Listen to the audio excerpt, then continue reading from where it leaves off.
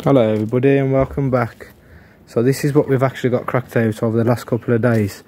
Um, the reason I haven't uploaded in a couple of days is because we've had a bit of problems with mixers. So in, in the end I just went out and brought my own. Um, yeah, we've got all this down yes today. All this down today. But this pathway from here down to there we got down yesterday.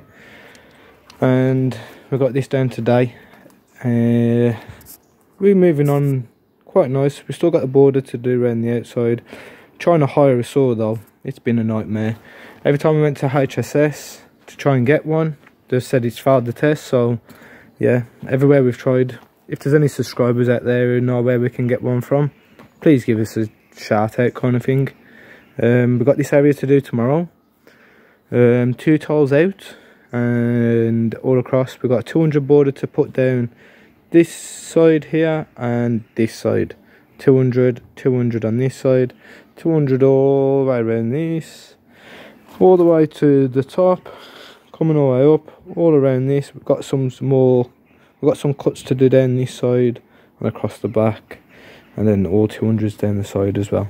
But stay tuned people because i'll have another video tomorrow we've got all the steps in concreted so they're more nice and solid. We've got to render all the walls up all around here.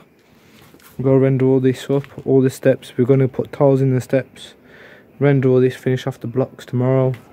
And then maybe if we've got enough tiles left we'll do inside of here as well. But stay tuned people because there's plenty more to come. But look at it it's looking nice